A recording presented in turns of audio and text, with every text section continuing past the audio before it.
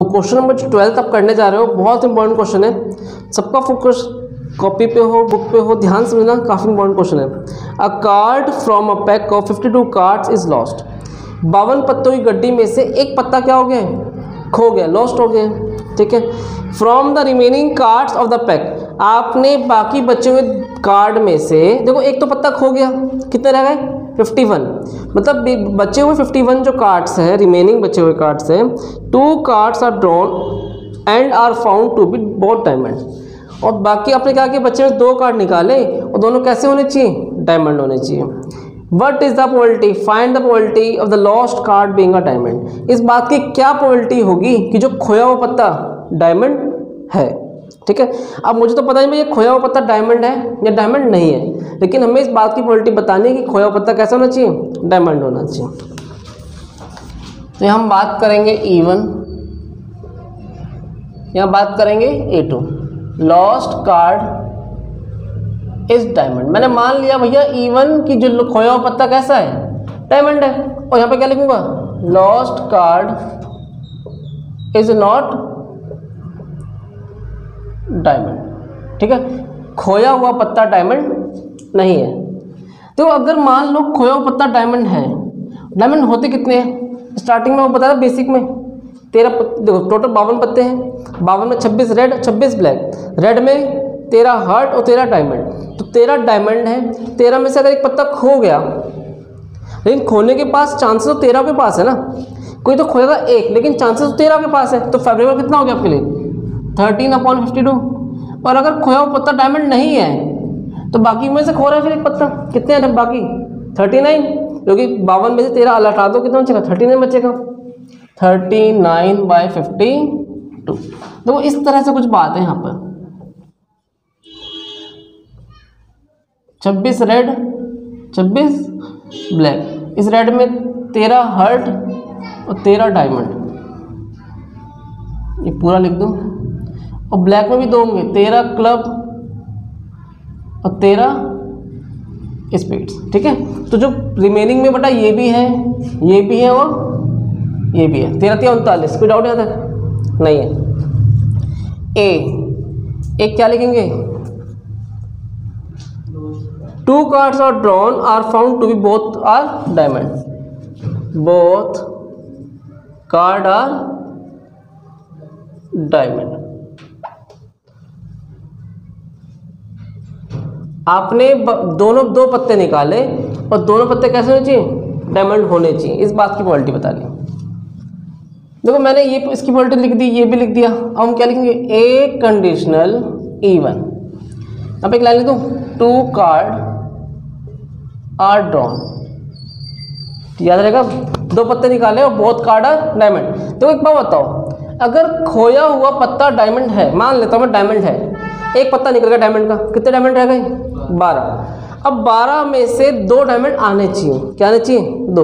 मतलब मुझे बारह में से दो को सिलेक्ट करना है। क्या करना है? सिलेक्ट और क्लास इलेवन पर जाओ। थोड़ा सा रिकॉल करो। क्लास इलेवन में चैप्टर पढ़ा था अपने परम्यूटेशन एंड कॉम्बिनेशन याद है? भूल गए? याद है। वहाँ क्या पढ़ा था? अरेंज करना सीखा था और सिलेक्शन की बात करी थी। ठीक है? पढ़ाया था मैंने आपको। तो आपने फील किया था कि सर जब भी हम सिलेक्शन की बात करते हैं तो हम क्या लगाते हैं? कॉम्बिनेशन अब मुझे मेरे पास बारह पत्ते हैं डायमंड के। बारह में से मैं दो पत्ते निकालूं तो मुझे क्या करना पड़ेगा? सिलेक्शन लगाना पड़ेगा। तो मैं क्या लिखूँगा इस जगह? ट्वेल्व सी टू और divide by total total outcomes आता है ना? टोटल कितने रह गए आपके पास? देखो, एक पत्ता खो गया। कितने रह गए? फिफ्टी वन सी टू यह सॉल्व करते हैं। Twelve C two twelve factorial upon में टू फैक्टोरियल और ट्वेल्व में से टू गया। फॉर्मूला क्या होता है? एन फैक्टोरियल अपॉन में आर फैक्टोरियल इंटू में एन माइनस आर फैक्टोरियल यहाँ पर क्या आ जाएगा बच्चों? Fifty one two forty nine twelve क्या लिख सकते हैं? Twelve into eleven two ten हाँ है ना? इससे ये कट जाएगा। यहाँ पे क्या बचेगा? Fifty one multiply fifty into forty nine factorial forty nine से फोर्टी नाइन फैक्टोरियल कैंसिल ये बचेगा ट्वेल्व इंटू इलेवन अपॉन में फिफ्टी वन मल्टीप्लाई फिफ्टी कुछ कट सकता है? दो से काटो छः या पच्चीस आ जाएगा। सिक्सटी सिक्स अपॉन में मल्टीप्लाई करना। पाँच पंज पच्चीस। एक दो नहीं, दो एक, दो पंजे दस। पाँच, सात, दो एक। बारह पचहत्तर। कोई डाउट यहाँ तक है? ना? नहीं है। अब देखो इसे ध्यान देना। ए कंडीशनल ए टू अगर खोया हुआ पत्ता डायमंड नहीं है नहीं है। खोया हुआ पत्ता डायमंड नहीं है। मतलब जो पत्ता खोया वो कहाँ से खोया है? कि, किसी और में से खोया है? तो आपको डायमंड अभी कितने अवेलेबल आपके पास? तेरह। हाँ है ना? तो आपके पास तेरह डायमंड अभी भी अवेलेबल है तो तेरह thirteen C two divide by fifty one C two तो यहाँ की वैल्यू क्या आ गई थी? डायरेक्ट मैंने देखा चेक किया, अगर मैं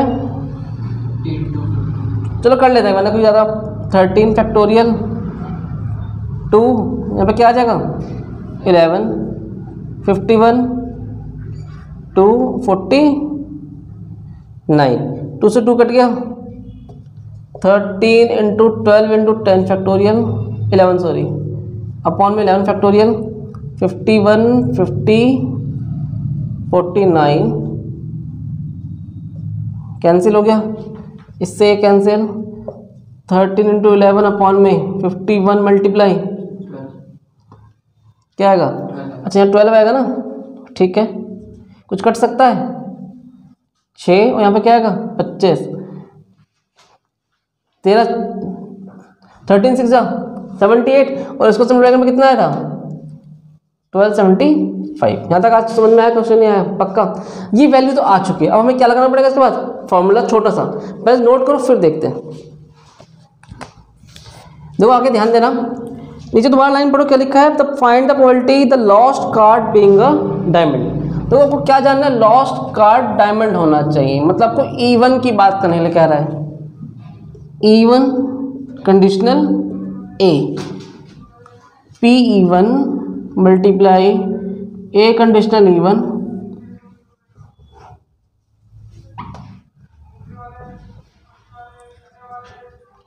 E one multiply A conditional E two E one sorry plus E two multiply A conditional E two the quality of even क्या गिवन है? 13 अपॉन में फिफ्टी टू यहाँ देखो चेक करो. 66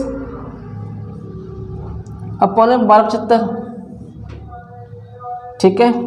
और नीचे चेक देखो क्या लिखेंगे? सेम लिख देंगे.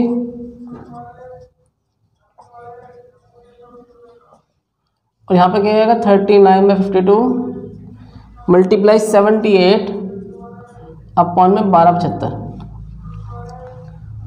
तेरह कम तेरह तेरह चौक बावन। थोड़ा छोटा कर लो।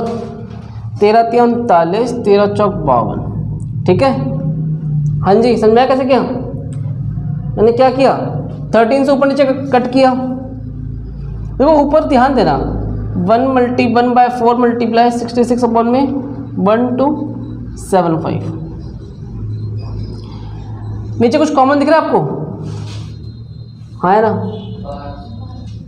इसका अगर आप एलसीएम लोगे बच्चों तो क्या आएगा? फोर मल्टीप्लाई बारह पचहत्तर, ठीक है ना? और क्या बचेगा ऊपर? सिक्सटी सिक्स, यहाँ बचेगा? और यहाँ पर थ्री मल्टीप्लाई सेवेंटी एट ये पूरा तो पहले से कैंसिल कर दो।